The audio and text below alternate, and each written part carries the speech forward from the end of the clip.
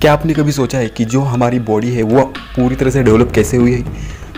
और किस किस ऑर्गन से बनी, किस किस मसल से बनी, और किस तरह से ये हमारी बॉडी जो है पूरी डेवलप होके अभी हमारी लाइफ टाइम में जी रही है? अगर आपको इन्हीं के बारे में जानना है तो वीडियो के एंड तक ज़रूर बने रहिए।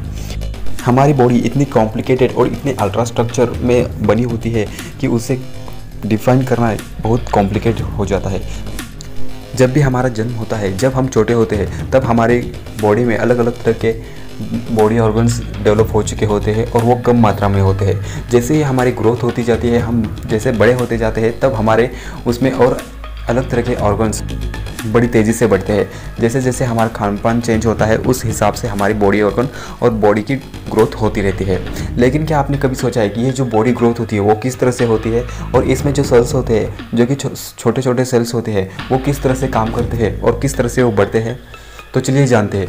हमारी जो पूरी बॉडी है, वो एक सेल से बनी होती है। जी हाँ हमारी जो बॉडी है, वो एक सेल से बनी होती है। जी हाँ और हज़ारों सेल्स के बाद उसे मसल में कन्वर्ट किया जाता है और उसके बाद हमारी मसल्स बनती है। और मसल्स के बनने के बाद अलग अलग तरह के बॉडी ऑर्गन्स बनते हैं और वहीं से हमारी बॉडी पूरी की पूरी डेवलप होती है।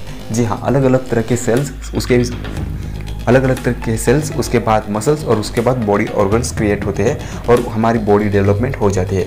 और ये ग्रोथ अपने हिसाब से, अपने एज के अनुसार स्टेप बाय स्टेप बढ़ती रहती है और कुछ समय बाद हमारी बॉडी ग्रो, ग्रोथ कुछ रेस्ट्रिक्शन में आके रुक जाती है और उसके बाद हमारे एज यानी कि हमारा जो बुढ़ापन है, बुढ़ापापन जो है वो शुरू होता है।